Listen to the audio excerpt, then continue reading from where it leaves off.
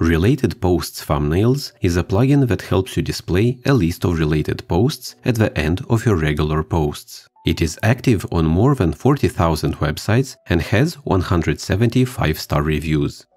The plugin can be installed from the WordPress dashboard. Search for Related Posts. This plugin is by WP Brigade.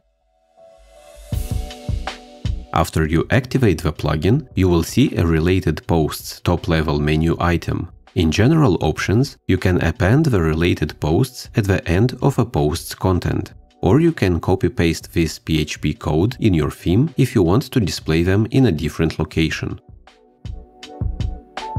You can display them in posts in all categories or only in the one you handpick. You can even restrict them by date if you don't want posts that are much too old. The sorting order can be random or latest. It would be best if latest posts would be the default option, as using random is usually a quick way to slow down a website. So if you're using this plugin on a website with thousands of posts, try changing from random to latest. It might improve performance and reduce the impact on your server.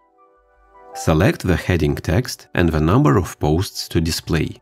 You can even have a default image for posts that don't have a featured image.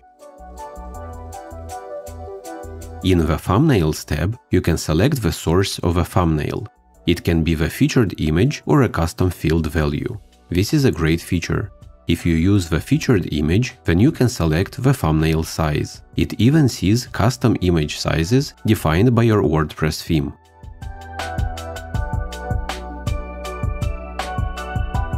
In Style options, you can do some basic color and font changes. If you change the output style from blocks to list, then you get the option of turning off plugin styles. Not sure why this option is not available for the default style.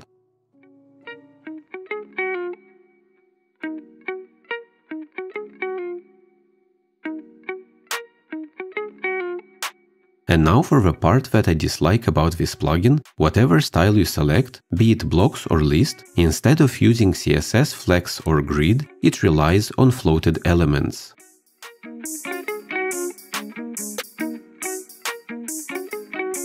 To make matters worse, it doesn't do anything about the thumbnail size. If you select a size that is too large, then your posts will appear stacked.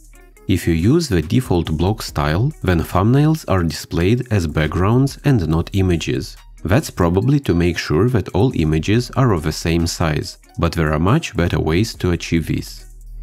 There are other CSS inefficiencies, but that's me getting too critical. You can always write some custom CSS for your particular theme and restyle the output of this plugin. This plugin can be a lot better if the HTML output and the CSS would take advantage of what modern CSS has to offer. Thank you for watching.